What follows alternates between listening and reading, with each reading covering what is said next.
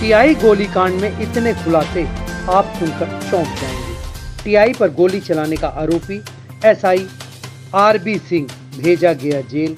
पिछले दिन गुरुवार की दोपहर रीवा के सिविल लाइन थाने के अंदर टीआई के चैम्बर में टीआई को एसआई ने गोली मार दी थी। गोली उनके बाएँ सीने के ऊपर लगी थी। टीआई को गंभीर हालत में पास के ही एक नर्सिंग होम में एडमिट कराया गया था।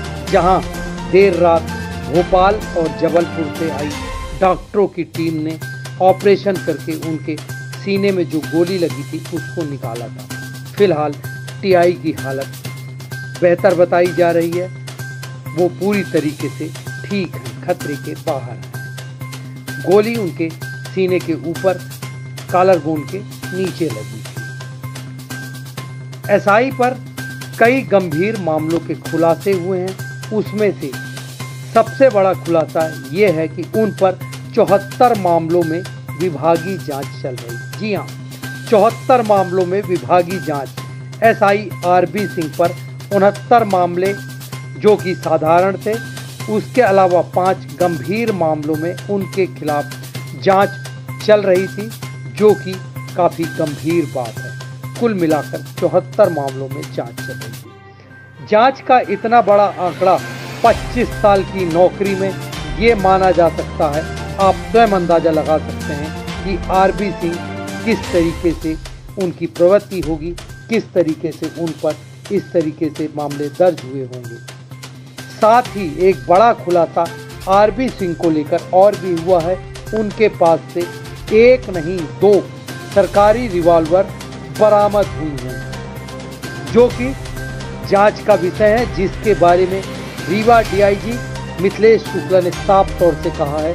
उनके पास से दो सरकारी रिवॉल्वर बरामद हुई हैं। हम जाँच करेंगे उनके पास से दोनों रिवॉल्वरें कहाँ आई, कब उनको मिली थी। घटना के काफ़ी वक्त बीतने के बाद जिस तरीके से आरबी सिंह के मामले में नए खुलासे आ रहे हैं, उसको देखकर सहज ही अंदाज़ा लगाया जा सकता है। पुलिस महकमे में क्या कुछ चल रहा था। ये राज तब खुला जब एसआई ने टीआई को गोली मारी। उसके बाद जब उन्होंने आत्मसमर्पण किया, अपनी रिवॉल्वर जिम्मेदारों को दी, तब पता चला उनके पास एक नहीं दो दो सरकारी रिवॉल्वर थे। फ़िलहाल, रीवा डीआईजी मिथिलेश शुक्ला ने एसआई को नौकरी से बर्खास्त कर दिया है। जिस तरीके से उन्होंने टीआई के ऊपर प्राण घातक हमला किया। टीआई के चैम्बर में ही हितेंद्र नाथ मिश्रा को जिस तरीके से उन्होंने गोली मारी थी, उसके चलते उनको सेवा से बर्खास्त कर दिया गया फ़िलहाल एक बड़ी खबर और निकल कर आई है। आरबी सिंह को आज देर शाम रीवा के जिला न्यायालय में पेश किया पुलिस ने, जहाँ से उनको जेल भेज दिया गया। टीआई पर हमला करने वाले एसआई पर 307 के तहत पुलिस ने मामला दर्ज करते हुए जेल भेज दिया है। उसके अलावा आरबी सिंह पर एक बड़ा खुलासा ये भी हुआ है आरबी सिंह कुछ दिन पहले तक विधानसभा अध्यक्ष की वीआईपी ड्यूटी में थे। ये लगभग दो माह पुरानी बात फ़िलहाल उसके पहले साल भर से ज़्यादा समय तक उन्होंने विधानसभा अध्यक्ष गिरीश गौतम की वीआईपी ड्यूटी में अपना समय दिया चौहत्तर से ज़्यादा मामले में जिस तरीके से उनके खिलाफ मामले की विभागीय जाँच चल रही है, उनको रीवा के सिविल लाइन थाने में पदस्थ करना, ये भी एक जाँच का विषय हो सकता है।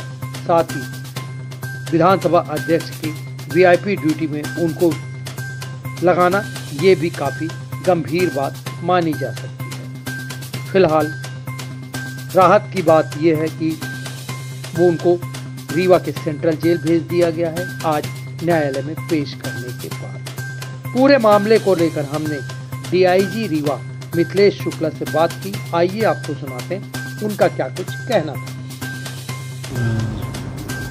कल दिनांक सत्ताईस सात को थाना civil line T I Hiten Sharma के ऊपर sub inspector B R Singh द्वारा हम्म, सर्विस रिवॉल्वर से फायर किया गया जो कि उनके बाएँ कंधे में थोड़ा नीचे लगा। इस घटना के ऊपर बी आर सिंह के ऊपर, आरोपी बी आर सिंह के ऊपर तीन सौ सात भागावी के खिलाफ मुकदमा कायम किया गया है। साथ ही उनके द्वारा किए गए इस कृत्य को देखते हुए, साथ ही इनके पूर्व का जो कंडक्ट है, उसको देखने के उपरांत इनके खिलाफ प्राथमिक जाँच हुई और इन्हें तत्काल प्रभाव से सेवा से बर्खास्त कर दिया गया। सर इनके पास दो रिवॉल्वर वो है क्या? इसके संबंध में एक अधिकारी के पास दो रिवाल्वर कैसे हैं उसके लिए पृथक से जाँच कराई जा चौबीस साल की नौकरी में लगभग चौहत्तर मामले बावजूद इसके इनको थाने में कैसे है? क्योंकि थाने में पदस्थापना पुलिस अधीक्षक के द्वारा की जाती है।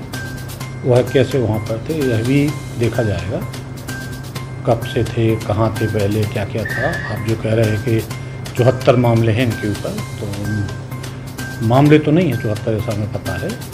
इकहत्तर बार इनको, इनकी गलतियों के ऊपर इनके अधिकारियों द्वारा दंडित किया गया है। उन्हें